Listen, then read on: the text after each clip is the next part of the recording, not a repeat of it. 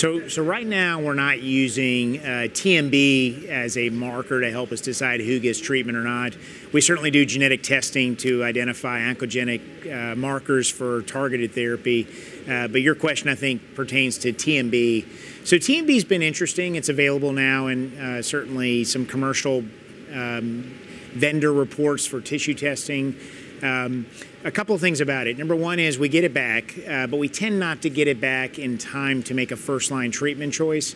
So initially, the data came out with uh, nivolumab and ipilimumab, specifically in a trial called Checkmate 227, comparing that regimen versus chemo, chemo with nivolumab.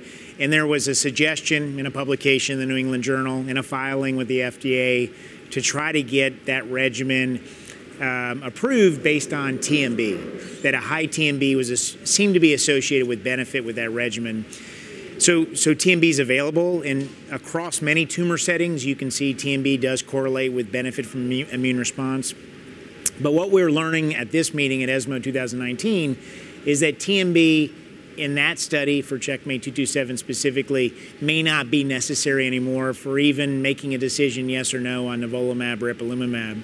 So the quick answer is we don't use it, we get it, but it doesn't make it doesn't help me make a decision on who gets immunotherapy and who doesn't.